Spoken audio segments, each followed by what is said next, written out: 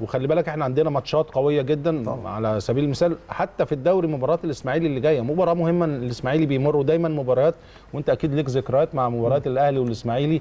المباراة اللي جاية الأهلي والإسماعيلي أنت برضو شايفها إزاي؟ آه، يعني الحمد لله الأهلي ماشي بخطى ثابتة من بداية مشوار الدوري.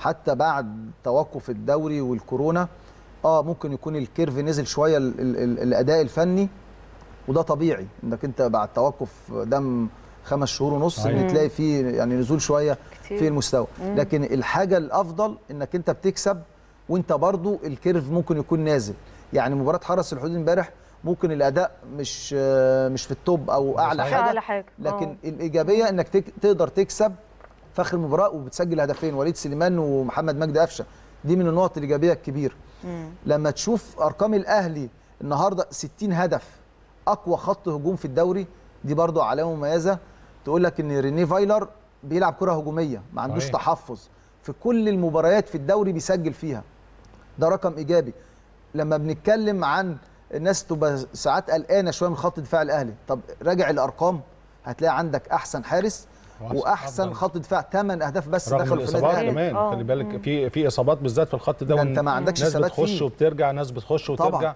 فطبعا يعني- يحسب برضو للنقطة ديت إن إحنا أحسن خط دفاع لأن في آه، عناصر كتير بتتغير في الخط ده طبعا يعني مرة تلاقي علي معلول موجود أيمن أشرف محمود وحيد الناحية الثانية فتحي وهاني مفيش ثبات مع- ياس... آه بالظبط آه، يعني ما- عندكش ثبات في الخط ده. رامي آه. ربيعة كان موجود فكل دوت آه، إيجابيات طبعا والأرقام ما بتكذبش بمعنى صح لما آه لما توصل للأرقام دي في ظل الإصابات الموجودة عندك ده شيء إيجابي وكمان في ظل الغيابات يعني كهربا كان ايقاف وحسين الشحات آه، الإصابات قدام برضو تسجل 60 هدف في الدوري. ده رقم مميز جدا.